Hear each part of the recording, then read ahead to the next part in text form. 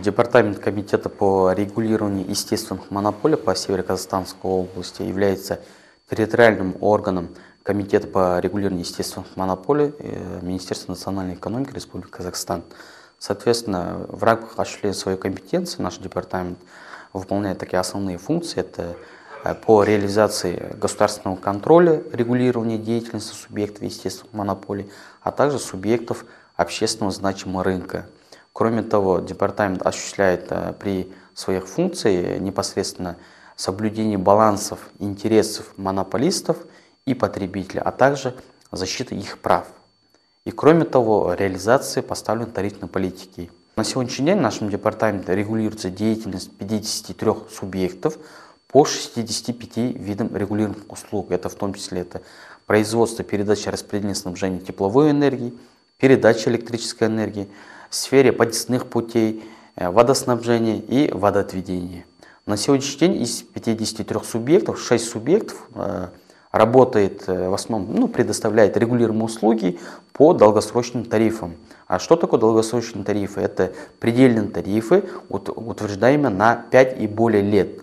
Соответственно, данные монополисты берут на себя такие инвестиционные обязательства, которые направлены на увеличение качества предоставляемых услуг, обновление основных средств, реконструкция, модернизация действующих активов, которые непосредственно задействованы в оказании регулируемых услуг. Соответственно, на сегодняшний день в рамках предельных тарифов реализуется инвестиционная программа на сумму свыше 30 э, миллиардов тенге, это которая в течение пяти лет реализуется. Также хотелось бы отметить, что данная инвестиционная программа нашим департаментом э, осуществляется государственный контроль за реализацией мероприятий инвестиционных программ. Условно, по итогам 2023 года, вот э, в текущем году, к 1 мая были предоставлены отчеты об исполнении тарифных смет, а также отчеты об исполнении инвестиционных программ за 2023 год. Соответственно, в настоящее время нашим департаментом проводится анализ. Э, например, могу сказать, что в прошлом году в отношении субъектов естественной монополии, это 18 субъектов, были введены временные компенсирующие тарифы на сумму свыше 230 миллионов тенге, которые необоснованно они получили. Это за счет неисполнения мероприятий инвестиционных программ, а также неисполнения э, статей затрат, предусмотренных утвержденных в тарифной смете, более 5%. Если имеются какие-то неисполнения статей затрат в отношении данных монополистов, э, принимается в виде меры это утверждение компенсирующего тарифа. А что это такое компенсирующий тариф? Это у нас тариф э, путем снижения действующего тарифа обеспечивает возвратность необоснованно полученного дохода. А в текущем году, вот в настоящее время проводится до сих пор анализ, мы еще не завершили, но находимся на финишной черте. Э, по итогам анализов в отношении 10 монополистов были приняты меры по утверждению компенсирующих тарифа в размере 58 миллионов тенге. Это путем снижения тарифа обеспечивается возвратность необоснованно полученного дохода. Кроме того, департаментом э, ведется претензионная исковая работа – это когда мы обращаемся в целях защиты прав потребителей э, в судебные органы. Э, кроме того, для осуществления своих функциональных обязанностей мы обращаемся в судебные инстанции. В прошлом году мы, когда обращались в судебный орган, порядка 47 судебных исков мы подавали. А в этом году ну, за 9 месяцев у нас 33 судебных иск подали, это в том числе и гражданские, и административные, ну, где мы защищаем в основном это права потребителей. Э, хотелось бы отметить, что в прошлом году такое резонансное дело было у нас одно, э, в связи с тем, что многие у нас юридические лица, которые расположены на первых этажах жилых домов, э, ну, это в основном индивидуальные предприниматели, вот это магазины, офисы, аптеки были, они в целях своих прав обратились в наш департамент в связи с тем, что Севказэнергосбыт э, в отношении них э, при применении платы за теплоснабжение в расчетах применялся коэффициент, который увеличивал стоимость платы размера. Соответственно, нашим департаментом, изучив жалобы данных заявителей, изучив материалы, запросы были отправлены необходимым государственным заинтересованным компетентным органам, И по, по результатам итогов изучения материалов был подготовлен иск в отношении Севказэнергосбыта. И в итоге мы все инстанции выиграли, первую и вторую инстанцию. Соответственно, были защищены права 1249 небытовых потребителей, это юридические и индивидуальные предприниматели, на общую сумму свыше 96 миллионов тенге. Кроме того, после этого э, мы повторно подали иск в отношении Севказэнергосбыта в целях защиты прав физических лиц. Это бытовые наши потребители, которые проживающие в этих же домах, где есть прибор учета, и, а также расположены вот эти юридические лица. То, что с юридических лиц они сняли и доначислили физическим лицам, ну, жителям, бытовым потребителям. В итоге мы тоже обратно повторно подали иск, в итоге тоже выиграли данный судебный процесс, и в итоге где-то свыше 33 миллионов тенге э, бытовым потребителям вернули вот этот необоснованный доход. Также хотелось бы отметить, что нашим департаментом э, осуществляется в части тарифной политики. Это, если Помните, мы в прошлом году неоднократно в телевидениях выступали, а также приглашали вот общественный совет и депутатов нашего областного маслихата. И кроме того, потребители приглашали, когда субъекты обращались непосредственно в департамент о пересмотре тарифов. По поручению главы государства э, в прошлом году, когда 1 сентября озвучил свое послание населению нашему региона и в целом по республике, было поручено нашему отраслевому госоргану о необходимости внедрения новой тарифной политики, это тариф в обмен инвестиций.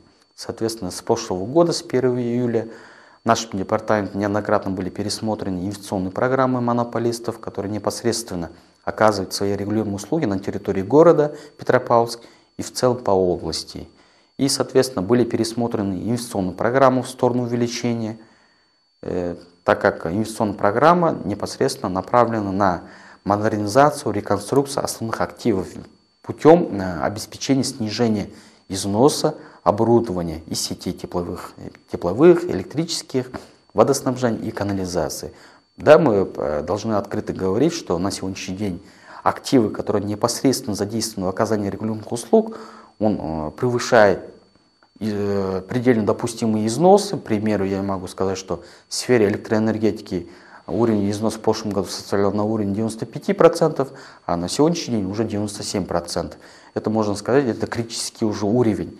Для этого, чтобы снизить э, износ, необходимо обновление основных средств. Это путем привлечения инвестиций, это за счет, может быть, за счет тарифа, за счет бюджетных средств, за счет привлечения каких-то займов, это а, банки второго уровня, либо международные финансовые организации.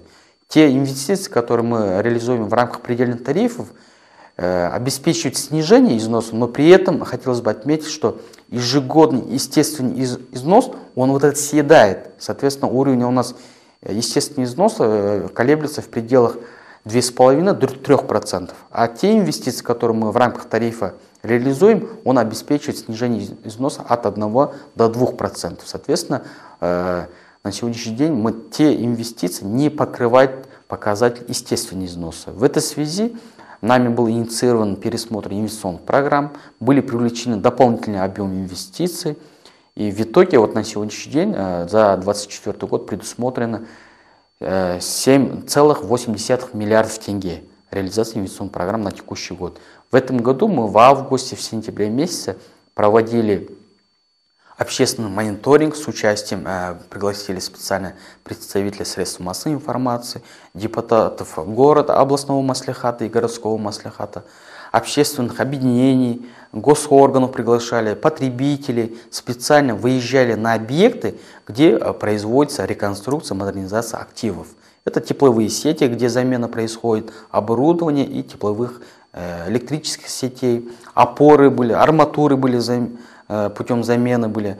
За счет этого обновляются основные средства, которые обеспечивают, во-первых, это снижение износа, повышение качества предоставляемых услуг. В целях того, чтобы наши потребители должны получить качественные услуги, а также уменьшить э, аварийности, так как у нас, э, когда мы выезжали на объекты, вот как раз руководитель данных компаний э, специально э, подготовили презентации, там они наглядно по, по годам показали динамику снижения количества аварий и отказов, которые происходят непосредственно в объектах у данных монополистов. Также хотелось бы отметить, что те инвестиции, которые мы закладываем в структуру тарифа, он обеспечивается путем контроля которые за целевым использованием средств, которые мы заложили в структуру тарифа.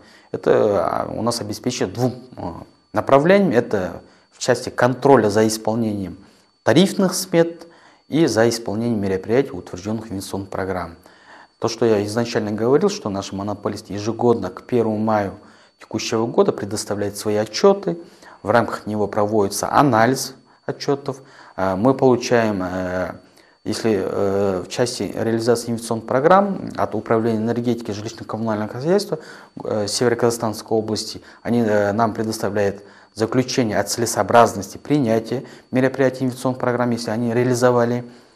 Также к отчету прикладывается техническая экспертиза, что данными монополистами были реализованы инвестиционные программы, и те средства, которые были учтены в структуре тарифа, были освоены. Исходя из данных материалов, на нашем департаменте проводится анализ и по итогам принимаются соответствующие меры. Если в случае какие-то неисполнения каких-то мероприятий в части в деньгах, да, которые мы заложили в структуру тарифа, в отношении э, монополиста принимаются меры, это утверждение компенсирующего тарифа. К примеру, хотелось бы отметить, что по итогам анализа 2022 э, года в отношении монополистов на сумму свыше 230 миллионов тенге были э, приняты меры э, путем утверждения компенсирующих тарифов, которые обеспечивают возвратность данных необоснованно полученного дохода. В текущий период мы сейчас э, проводим анализ за 2023 год. На сегодняшний день уже в отношении 10 монополистов уже мы меры приняли на сумму 58 миллионов тенге. Это в среднем снижение составило от 1 до 42%. Это в отношении разных монополистов, это в сфере подъездных путей, были в сфере водоснабжения, электроснабжения и э, э, канализации в том числе. Также хотелось бы отметить, что на сегодняшний день нашим департаментом э, предоставляются такие государственные услуги. Это монополистам непосредственно, которые обращаются в наш департамент, а также от субъектов общественно значимого рынка, которые осуществляют свою деятельность. Это в розничной реализации электрической энергии. Такие виды у нас на сегодняшний день 5 видов у нас госуслуг предусмотрено законодательством. Это в том числе у нас это в отношении монополистов, это включение и исключение из государственного регистра субъектов естественных монополий, получение согласия по обращению субъектов, это реорганизация, ликвидация деятельности в случае прекращения, э, сделка с имуществом, которые непосредственно монополисты э, при осуществлении своей деятельности хотят э, в случае продажи, либо реорганизации, вот такие вещи. Кроме того, последний вид деятельности это у нас, э, когда субъект обращается в уполномоченный орган для получения согласия, ну, сделки это в сфере подъездных путей. Это специально отдельно выведено в связи с тем, что есть те подъездные пути, которые при реализации должны продавать, либо а, при конкурсном виде, когда реализация идет, непосредственно кто из потребителей, вот непосредственно контрагенты, это получает данный вид услуг. Для них дано возможность приобрести данные подъездные пути. Вот такие виды услуг нам а, предоставляются. А, в текущем году у нас 31 э, заявление поступило в от департамента. Из них по 26 дано согласие по остальным было отказано путем мотивированного предоставления обоснованного ну, заключения далее. Но при этом данный отказ это не ограничивается, данный монополист, соответственно, устраняет свои замечания и повторно обращается для получения э, качественного оказания государственных услуг. У нас государственные услуги э, предоставляются исключительно в электронном формате в целях уменьшения э, коррупционных рисков и, а также уменьшение э, бюрократии, так как э, раньше наши данные виды услуг рассматривался в течение 30 календарных и 30 рабочих дней. А на сегодняшний день, ну, условно, для получения лицензии у нас сокращен срок рассмотрения, это 15 рабочих дней. Когда субъект обращается для включения в регистр, от 30 календарных дней сокращен до 30 минут. В течение 30 минут он мог, могут получить госуслугу. В случае исключения из госрегистра рассматривается в течение двух рабочих дней. И, соответственно, вот насколько рабочих дней были сокращены сроки рассмотрения. Данные меры, во-первых, направлены для обеспечения прозрачности, так как данная услуга предоставляется в электронном формате, а также обеспечение открытости, что наш государственный орган всегда открыто. Кроме того, у нас в нашем департаменте имеется на первом этаже площадка для получения консультаций, так как э, в случае обращения за консультацией непосредственно и физические лица, и юридические лица могут непосредственно подойти, ознакомиться с государственными услугами и получить более подробную консультацию. Ну, в части контроля хотелось бы отметить, что вот, э, в прошлом году в отношении трех монополистов мы привлекли к административной ответственности за нарушение закона о естественных монополиях на общем 11 миллионов тенге, взысканы в стопроцентном объеме.